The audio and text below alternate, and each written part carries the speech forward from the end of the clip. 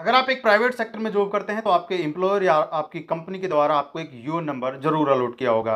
जिसके तहत आप पूरे देश में कहीं भी काम करते हैं तो आपका जो पीएफ नंबर है, वो तो चेंज होता रहते हैं, परंतु यूएन नंबर एक ही रहता है, जिसमें हर महीने आपकी सैलरी से कुछ परसेंट आपका कटता है और कुछ परसेंट आपके एम्प्लॉयर या आपकी कंपनी के द्वारा कटकर उसमें जमा होता रहता है। जिसको लेकर बहुत से कर्मचारियों को यह डाउट होता है कि उनकी सैलरी में से जो रुपया कट रहा है वो बारह परसेंट कट रहा है या मैक्सिमम अट्ठारह सौ रुपया कट रहा है। इसके साथ ही जो रुपया उनके अकाउंट से कट रहा है वो उनके एम्प्लॉयर के द्वारा डबल नहीं करके जमा कराया जा रहा है। या कुछ कर्मचारी यह समझते हैं कि उनकी जो बेसिक सैलरी वो अधिक है परंतु जो इसका एम्प्लॉयर या कंपनी उसके कम सैलरी पर पीएफ डिडक्शन करके उनके अकाउंट में जमा करा रहा है। तो आज की यह वीडियो आप पूरी देखेंगे तो आप समझ पाएँगे और आपके सारे डाउट क्लियर हो जाएँगे कि आपकी बेसिक सैलरी कितनी है और कितना परसेंट आपका एम्प्लॉयर आपके पीएफ अकाउंट में जमा करा रहा है और कितना परसेंट आपका कट रहा है। इसके साथ ही कितना परसेंट आपके पेंशन अकाउंट में जमा हो रहा है और कितना परसेंट आपकी ईडीएलआई यानी जो आपकी इंश्योरेंस स्कीम है, जिसके तहत आप सात लाख रुपए तक का कवर कर सकते हैं, जिसका सात लाख रुपए आपके परिवार को मिल सकते हैं, आपके साथ कोई दुर्घटना हो जाती है उस समय तो ये सारी डिटेल आज के इस वीडियो में आपको बताने वाला हूँ। नमस्कार मेरा नाम है सुब्राम सिरोहा आप देख रहे हैं शुभम टेक्निकल। सबसे पहले लेटेस्ट टेक्नोलॉजी वीडियोस पाने के लिए अभी हमारे चैनल शुभम टेक्निकल को सब्सक्राइब कीजिए और साइड में जो बेल आइकन आ रहा है उस पर क्लिक कीजिए। आपकी सैलरी में से कितना रुपया कटता है? 12 परसेंट कटता है या मैक्सिमम अठारह सौ रुपया कटता है? इसको देखने के लिए दोस्तों मैं आपको एक लाइव एग्ज़ाम्पल दिखाने वाला हूँ। इसको देखने के बाद आप समझ जाएँगे कि कितना रुपया हमारा कटता है और आप अपनी बेसिक सैलरी का या आप अपनी पासबुक का कैसे चेक कर सकते हैं कि हमारा कितना रुपया कट रहा है। इसको देखने के लिए सिंपली आपने जो पासबुक की साइट है, इसको ओपन करना होगा। इस साइट का लिंक आपको वीडियो के डिस्क्रिप्शन में मिल जाएगा। वहाँ से आपने यहाँ पर यूएन नंबर फिल करना है, पासवर्ड फिल करना है और ये कैप्चा कोड दिखाई दे रहा है, ये कैप्चा कोड फिल कर लेना है। इसके बाद में लॉगिन पर क्लिक करेंगे तो कुछ इस प्रकार का इंटरफेस साइट का आएगा।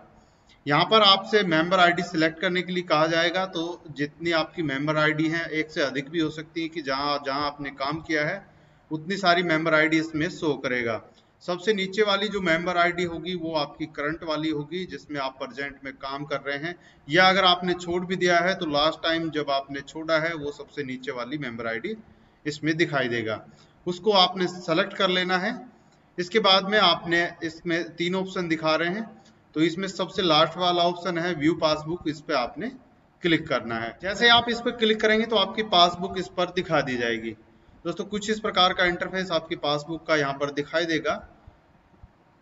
यहाँ से आप चेक कर सकते हैं कि जो आपका टोटल अमाउंट है वो दिखाया जाएगा और सारी डिटेल आप यहाँ से चेक कर सकते हैं कि कौन से महीने में कितना रुपए आपके पीएफ अकाउंट में जमा हुआ है और कितना परसेंट आप ये आप इसका अंदाज़ा यहाँ से लगा सकते हैं।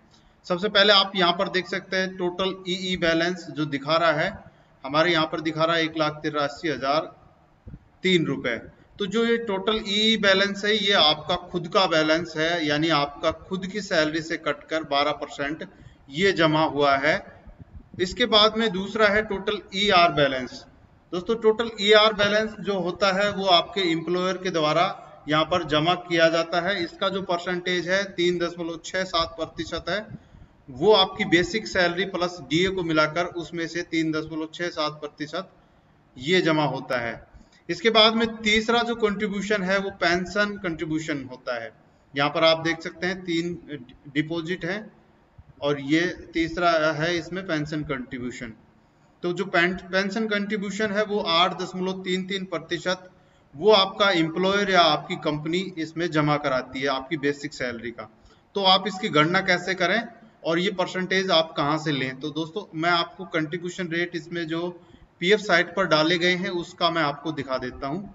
ये अभी नए हैं, क्योंकि पहले इसमें ईपीएफ e जो था इम्प्लॉय प्रोविडेंट फंड होता है, जिसका 10 से 12 परसेंट अब ये कटता है। 10 परसेंट किन का कटेगा?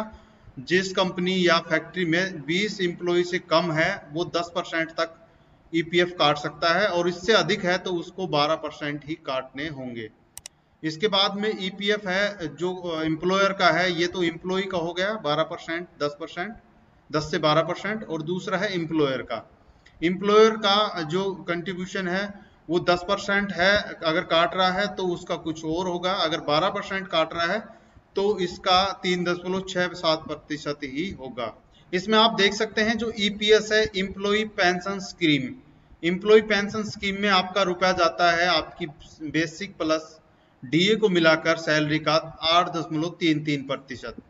तो यहाँ से आप चेक कर सकते हैं, बारह परसेंट तो आपका खुद का कट रहा है और तीन दशमलव छह सात प्रतिशत इसमें जोड़ेंगे तो ये भी बारह परसेंट बन जाता है। आप यहाँ से इसको चेक कर सकते हैं। जो बारह परसेंट है, वो आपका कटा है तो आपकी सैलरी में से अट्ठारह सौ रुपये यहाँ पर जमा हो गए। अट्ठारह सौ रुपये, दोस्तों, मैंने जब आपको बताया था कि बारह परसेंट कटता है या अट्ठारह सौ रुपये तो मैक्सिमम जो है कंट्रीब्यूशन रेट है वो अट्ठारह सौ है, यानी आपकी पंद्रह हज़ार सैलरी पर मैक्सिमम इस पर कटेगा।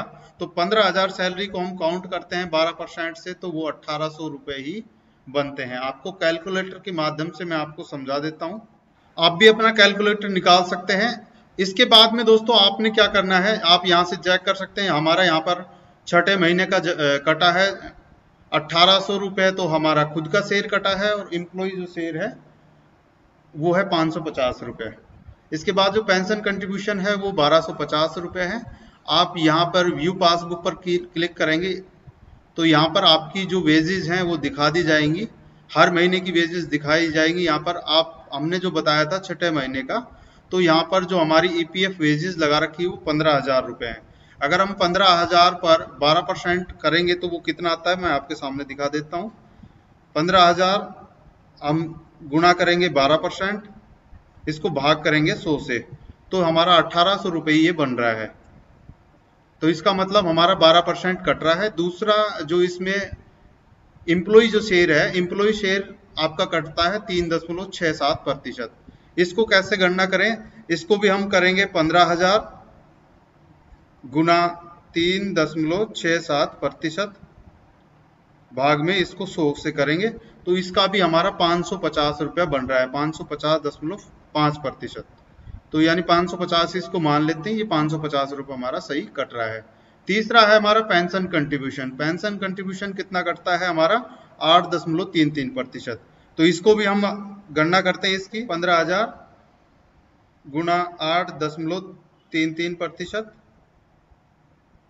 भाग में सौ। तो ये हमारा बन रहा है बारह सौ उनचास रुपए पाँच पैसे। तो आप यहाँ पचास पैसे तो आप यहाँ से चेक कर सकते हैं।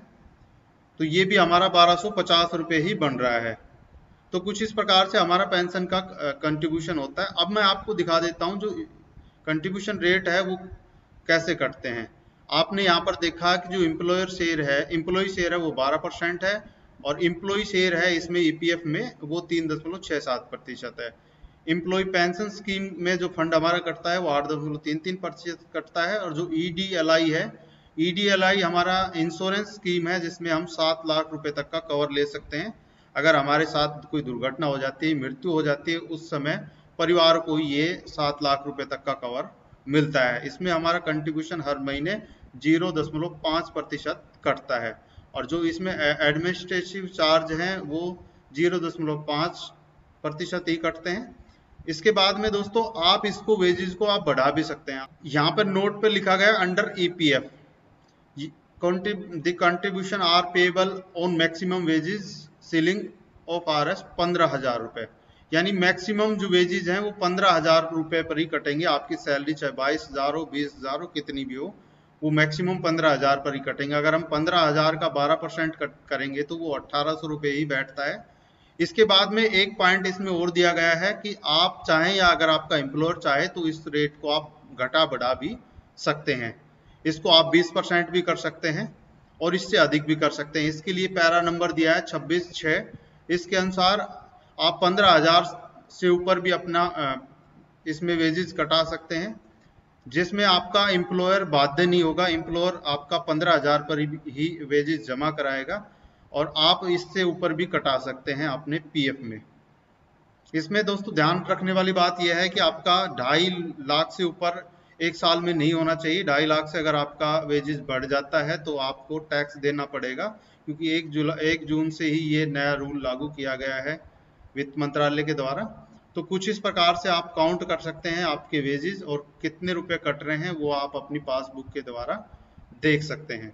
इस वीडियो को अगर आप YouTube पर देख रहे हैं तो हमारे चैनल शुभम टेक्निकल को सब्सक्राइब करें। Facebook पर देख रहे हैं तो हमारे पेज शुभम टेक्निकल को लाइक करें। अगर आप इसको Instagram पर देख रहे हैं तो हमारे चैनल शुभम टेक्निकल को फॉलो करें।